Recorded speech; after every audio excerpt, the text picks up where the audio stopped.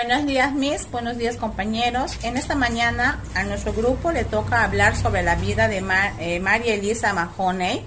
Este, los integrantes de nuestro grupo son la compañera Roelí, la compañera Isabel, la compañera Milagros, la compañera Gina y la que les habla Margarita.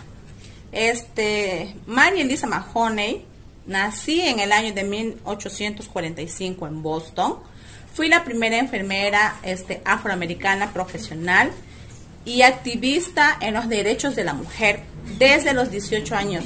Empecé a trabajar en el hospital de Nueva Inglaterra ayudando primordialmente a los niños y a las mujeres. Mi mayor parte de mi vida le dediqué al servicio social, cocinando, lavando a los enfermeros y haciendo, y haciendo de auxiliar.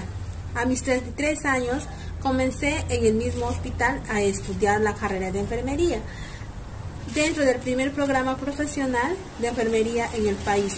Fui la primera negra, una, una de las cuatro mujeres que se graduaron en 1879.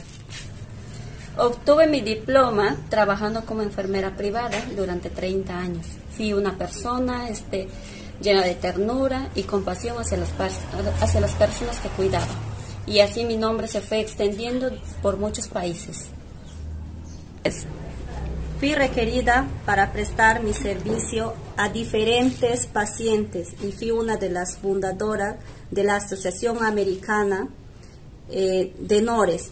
Pero esto cambió el nombre en 1989 debido a que empezaron a admitir las mujeres negras. Cambiando el nombre de Asociación Nacional de Enfermeras de Color. En 1911 me retiré de mi profesión, me trasladé a Islam. Fallecí en Boston en 1926 a mis 80 años de edad. Muchas gracias. Profesora, muy buenos días, compañeros todos. Por esta mañana estaremos escenificando la biografía de Lavinia Jaidos Doc.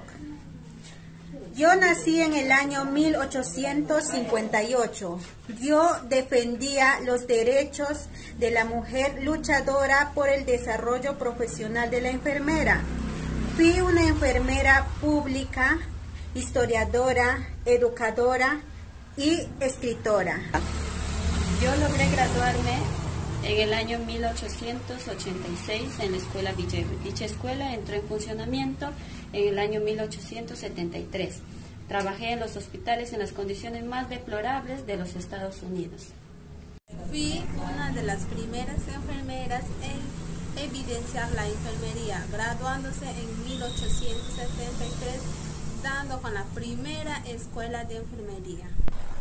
Fui supervisora en turnos nocturnos, este, trabajé como instituir prácticas de la pandemia de la fiebre amarilla en el Hospital Villebue en Jacksonville, la Florida. Además, trabajé en los tiempos de inundación en Washington.